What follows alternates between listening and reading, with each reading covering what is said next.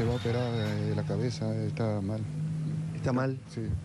Ahora opera el primero y después a él. Está en terapia intensiva.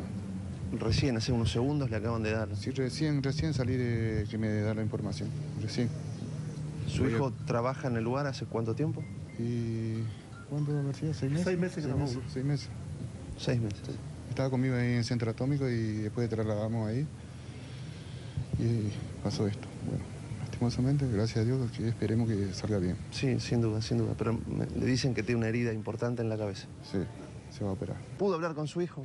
Eh, no, en este momento no lo pude ver, lo, lo mismo así nomás cuando sal- salió en silla de ruedas nomás, pero nada más. ¿Qué le dicen los médicos? ¿Cómo está él? No, no, él está bien, está un poco cortado un poco con la chapa, o las piernas, nada más.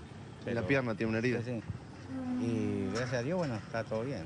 Ahora lo, lo llamaron, lo llevaron a traslado. Lo van a, a llevar a, a otra clínica. Claro, ya lo llevaron ya. Ya, ya salió. Ya salió, sí.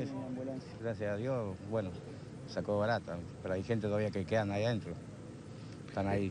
¿Él, lo- qué, él qué le decía? ¿Era peligroso el trabajo?